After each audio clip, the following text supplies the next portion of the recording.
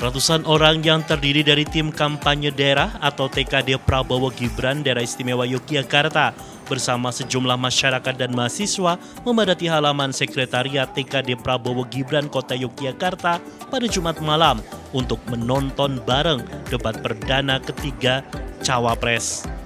Ketua TKD DIY Gandung Pardiman mengaku sangat puas dengan Cawapres Gibran Raka Buming Raka ketika debat malam itu.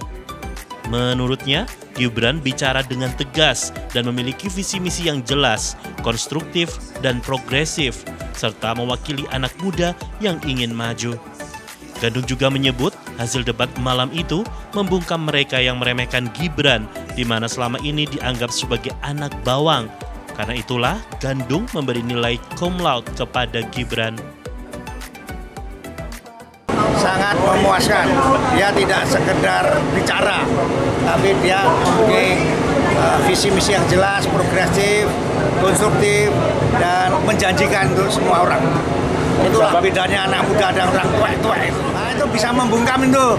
Itu mulut-mulut yang nyinyir itu dibungkam malam ini. Mau apa lagi yang dia nyinyirkan kalau uh, Gibran itu anak kecil.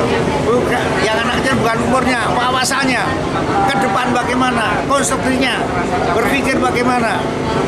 Ya, berpikir pakai hati dan otak kalanya. Pakai otak itu untuk membedakan mana yang salah dan mana yang benar. Apa? Nilainya sangat memuaskan komlaut. Di atas ekspektasi atau Komlaut sekali. Yang atasnya anak muda. Closing statementnya tanpa teks.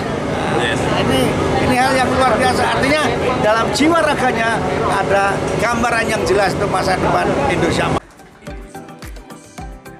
Senada dengan Gandung yang telah memberikan poin plus kepada Gibran, Sekretaris TKD DIY Nur Subiantoro menyampaikan dari hasil debat tersebut diakui Gibran menunjukkan kualitasnya sebagai seorang negarawan muda luar biasa. Nur juga mengapresiasi koalisi Indonesia Maju yang mengusung Gibran mendampingi Prabowo sebagai cawapresnya.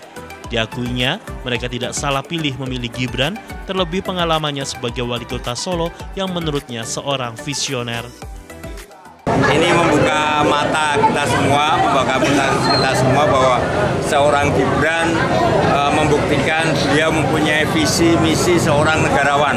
Anak muda yang luar biasa punya visi misi kenegarawan untuk memajukan NKRI ini. Jadi selama ini dia dipandang sebelah mata anak muda yang minim pengalaman, tapi kalian lihat bahwa memang anak muda minim pengalaman, tapi dia punya modal untuk masa depan.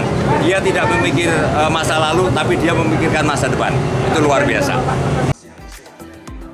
Nur Subianto juga menegaskan bahwa debat malam itu juga guna menjawab sindiran Butet Kertarajasa, salah seorang budayawan Yogyakarta yang sebelumnya meremehkan kinerja Gibran.